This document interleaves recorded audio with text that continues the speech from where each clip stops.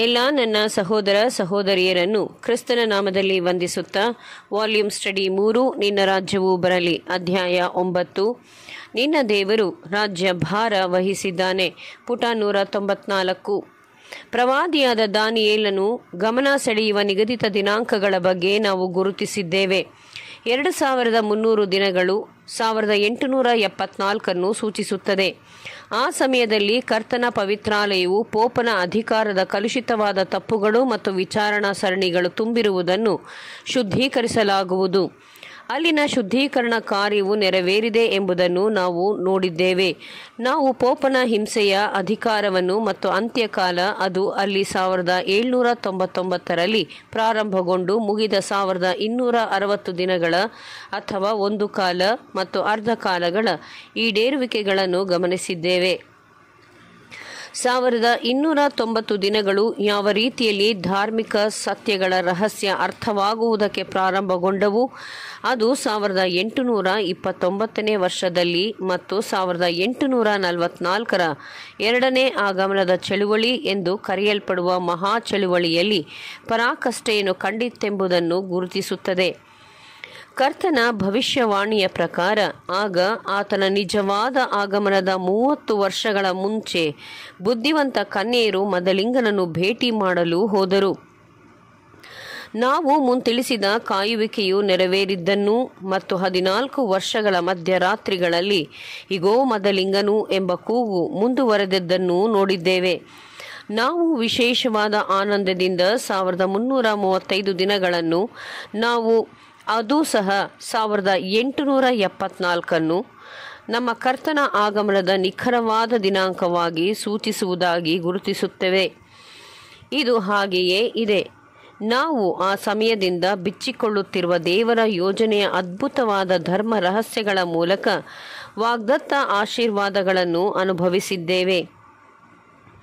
ನಂತರದಲ್ಲಿ ನಾವು ಸುಖಿಯ ಮಹಾಕಾರ್ಯವು ಅದರ ಸಿದ್ಧಪಡಿಸಿದ ಸಮಯ ಮತ್ತು ಕ್ರಮದಲ್ಲಿ ಸಾವಿರದ ಎಂಟುನೂರ ಎಪ್ಪತ್ನಾಲ್ಕರ ವರ್ಷದ ಶರತ್ಕಾಲದಲ್ಲಿ ಕ್ರಮೇಣವಾಗಿ ಸಾವಧಾನವಾಗಿ ಪ್ರಾರಂಭವಾಗುವುದನ್ನು ನೋಡಿದ್ದೇವೆ.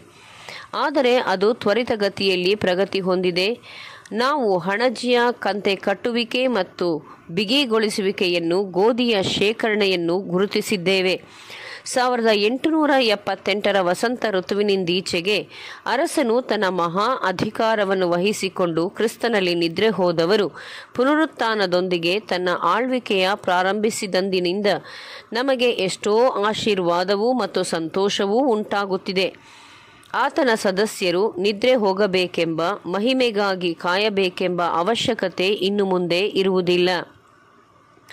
ಆದರೆ ಆತನ ಮರಣದಲ್ಲಿ ಮುಗಿಸುವ ಪ್ರತಿಯೊಂದು ಕ್ಷಣವೂ ದೇವರ ಹೋಲಿಕೆಗೆ ಮತ್ತು ಸ್ವಭಾವದ ಸಂಪೂರ್ಣ ಸಮರ್ಪಕತೆಗೆ ಬದಲಾವಣೆಯಾಗುವ ಆನಂದಕರ ಕ್ಷಣವಾಗಿದೆ. ಇಂದಿನಿಂದ ಕರ್ತನ ಭಕ್ತರಾಗಿ ಸಾಯುವವರು ಧನ್ಯರು. ಪ್ರಕಟಣೆ ಹದಿನಾಲ್ಕು, ಹದಿಮೂರು ಎಂಬುದು ಸದಾಕಾಲಕ್ಕೂ ಸತ್ಯವಾಗಿದೆ. ಅವರು ತಮ್ಮ ಶ್ರಮೆಯಿಂದ ವಿಶ್ರಾಂತಿ ಪಡೆಯುವರು. ಆದರೆ ಅವರ ಕೆಲಸಗಳು ಮುಂದುವರಿಯುವವು. ಯಾಕೆಂದರೆ ಪರದೆಯ ಆಚೆ ಕಡೆಯ ಕೆಲಸವು ಮತ್ತೊಂದು ಬದಿಯಲ್ಲಿ ಮಾಡುವ ಕೆಲಸವು ಒಂದೇ ಆಗಿದೆ. ಇದರಲ್ಲಿ ಎಲ್ಲ ಜಯಶಾಲಿಗಳು ಈ ಬದಿಯ ತೆರೆಯ ಕೆಲಸದಲ್ಲಿ ತೊಡಗಿಸಿಕೊಂಡಿದ್ದಾರೆ. ಆದರೆ ದೈವ ಸ್ವಭಾವದ ಮಹಿಮೆಯನ್ನು ಪ್ರವೇಶಿಸಿದವರಿಗೆ ಕೆಲಸವು ಎಂದಿಗೂ ಪ್ರಯಾಸಕರವಾಗುವುದಿಲ್ಲ ಮತ್ತು ಇನ್ನು ಮುಂದೆ ಪ್ರಯಾಸಕರ ತ್ಯಾಗವನ್ನು ವ್ಯಯಿಸಬೇಕಾಗಿರುವುದಿಲ್ಲ. ಈ ವೆಲ್ಲವುಗಳೊಂದಿಗೆ ದೈವಿಕ ಇಸ್ರಾಯೇಲ್ಯರಿಗೆ ದೇವರ ಕೃಪೆಯ ಹಿಂದಿರುಗುವಿಕೆಯ ಪ್ರಾರಂಭವನ್ನು ನಾವು ನೋಡಿದ್ದೇವೆ.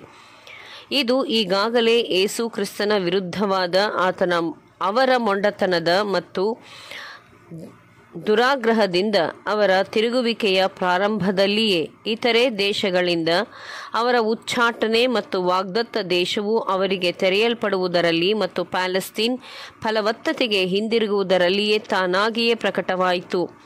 ಎಲ್ಲ ಪ್ರವಾದನ ದಿನಾಂಕಗಳು ಮತ್ತು ಸಮಯಗಳಲ್ಲದೆ ಈ ಬಾಹ್ಯ ಸೂಚನೆಗಳು ಮಾತ್ರವೇ ಸಭೆಯ ಮತ್ತು ರಾಜ್ಯದ ಆಯ್ದ ವರ್ಗದವರಿಗೆ ನೇಮಕವಾದ ಯುಕ್ತ ಸಮಯದಲ್ಲಿ ಜೀವಿಸುತ್ತಿದ್ದೇವೆ ಎಂಬುದಕ್ಕೆ ಪ್ರಬಲವಾದ ಸಾಕ್ಷಿಯಾಗಿದೆ ಎಂಬುವಂಥದ್ದೇ.